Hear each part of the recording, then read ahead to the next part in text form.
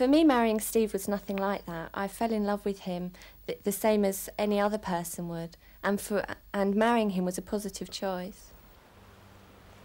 I think in our society, where women are afforded little respect and disabled people are, are afforded even less respect, our relationship redresses the balance of power, and we find that it's a very egalitarian thing.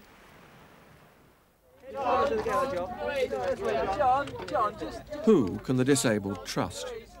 In a risk business like marriage, won't the able-bodied run away? Rosie and Stephen are two of the six British thalidomides who have married each other.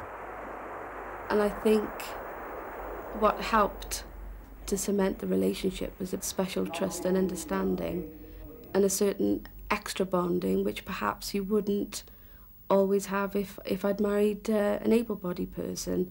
I may be worrying at the back of my mind, would they suddenly find that they no longer like being with a disabled person, that they may go off, leave you and marry um, an able-bodied person because they were missing out on something. Something as little as um, not being able to put your arms around your husband. Steve can honestly say that that doesn't worry him. Of the 201 thalidomides who have married, the vast majority have not married the disabled. They've chosen able-bodied partners. Is that a victory to win the able-bodied? A mark of escape from the disabled tribe?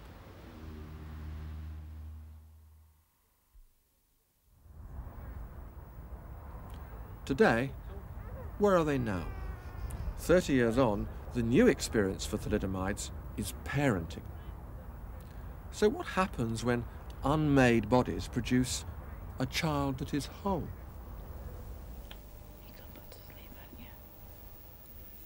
Disability doesn't have to begin at the beginning. In fact, for Jeanette, the first four-limb deficient ever to have a baby, its start was delayed for 25 years. It's only when I actually became a mother that I realised I was physically disabled.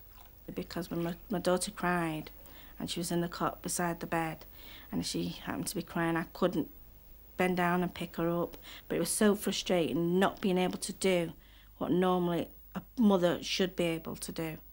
Like pick a baby up when it's crying, hold it, cuddle it, feed it. If I fed her, she was sick because the way I held the buckle. So that in the end I couldn't do. Um, it ended up that my mum and my husband did most of it.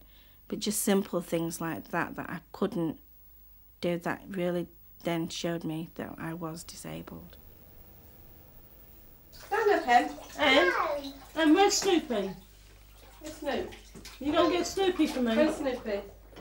And I'm sure every mother would agree there's nothing better than you first pick a baby out of a bath and wrap it in a towel and hold it there's nothing, you know, it's just that special moment. They haven't got any outside skin on.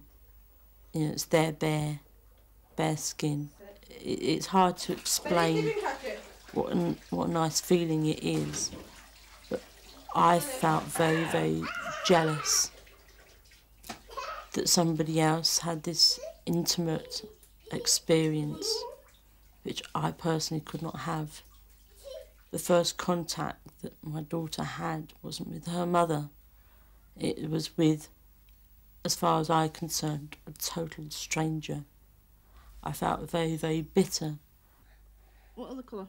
The story of thalidomide begins with a child and ends with a child. One day, Kellyanne will understand how her birth disabled a mother, but enabled a grandmother's sadness to pass away. 25 years. I've carried so much guilt about. And now Jeanette got this perfect baby girl. And to me, I knew that that was going to be my job, was helping bring this baby up for her. I didn't resent it one bit. And all I wanted to do was just hold and love her. And I had seven minutes with that baby on my own. That's the best seven minutes of my life.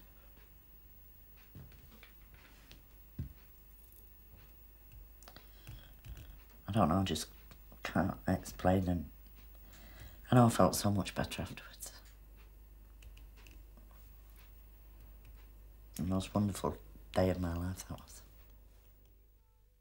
She was lovely and fair, like the roses of summer, but